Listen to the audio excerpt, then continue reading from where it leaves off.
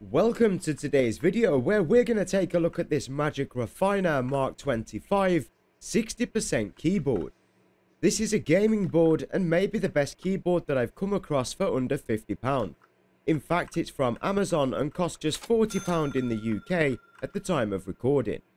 I'm Really Random Reviews. I hope you're all doing fine and well and having a great day. With that being said, let's get into this.